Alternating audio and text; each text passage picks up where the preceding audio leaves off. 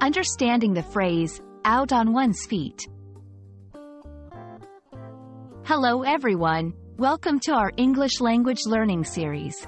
Today, we're going to explore the meaning of an interesting English phrase, out on one's feet.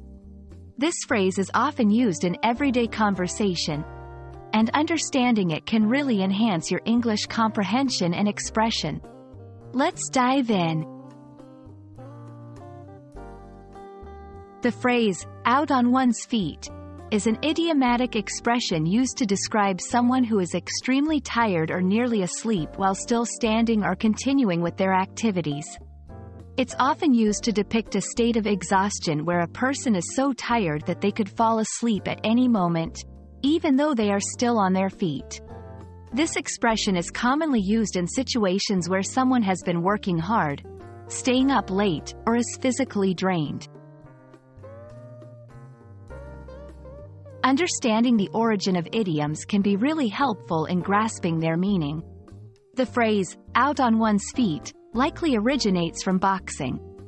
In boxing, a fighter who is dazed or exhausted but still standing is often described as being out on their feet.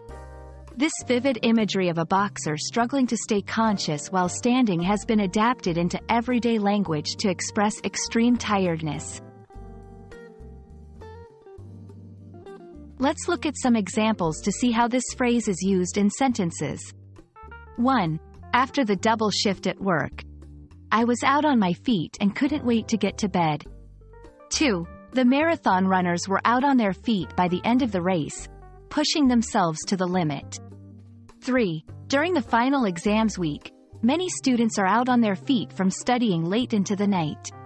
These examples show how the phrase can be used in different contexts to describe physical or mental exhaustion.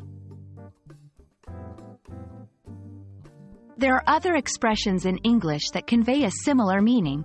Phrases like burned out, running on fumes, and dead on one's feet also describe a state of extreme tiredness or exhaustion. By learning these similar expressions, you can enrich your English vocabulary and express yourself more vividly. And that's a wrap on the phrase, out on one's feet. I hope this video has been informative and helpful in understanding this interesting expression. Remember, learning idioms can add color and depth to your English skills. Thanks for watching, and see you in our next English language learning video.